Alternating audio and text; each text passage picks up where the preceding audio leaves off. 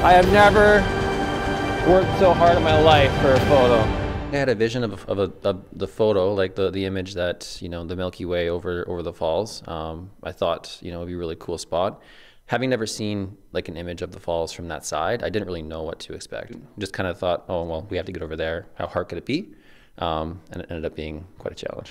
so Tourism Sask approached me uh, back in the spring about doing a shoot up in northern Saskatchewan, astrophotography focused. Um, so we are looking at some locations of where this would work, and uh, Nistowiak Falls kind of has been a spot that you know I would like to go see. It's really kind of iconic location in Saskatchewan, uh, being one of the kind of tallest and most um, you know beautiful waterfalls that we have. Nistowiak Falls is a pretty epic looking location.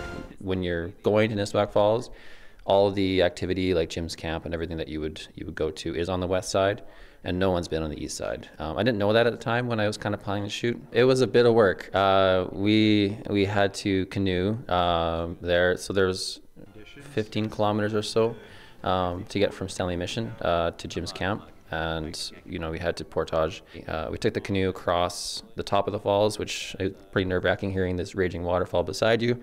Um, and so we set up some glow sticks on different rocks to kind of mark out our route because we had to come back in the dark. We got to the east side and uh, we had to kind of bushwhack about a kilometer down the ravine uh, to try and find our, you know, the outcropping that I kind of saw on satellite uh, that might be an option. Um, so we had to kind of find that. So, you know, bushwhacking through, you know, the northern forest isn't necessarily easy.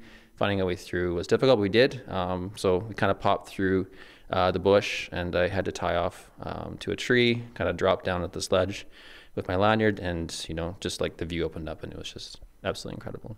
And Milky Way came out just kind of right where we, we wanted it. Uh, and I grabbed a couple images of that. You feel so insignificant and small, like the problems of the day to day kind of disappear when you're looking out there. That kind of puts you uh, in a place of just awe and wonder. So it's, it's a really cool thing.